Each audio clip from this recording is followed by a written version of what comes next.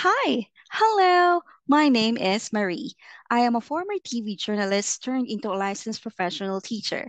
I am a TEFL and TESOL certified, which means I am qualified to teach English to kids, teens, young professionals, and adult learners.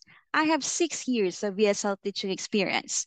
I have taught English from one-on-one class to group classes. So learn with me and let's make English a fun and exciting journey. Book your trial class today. See you.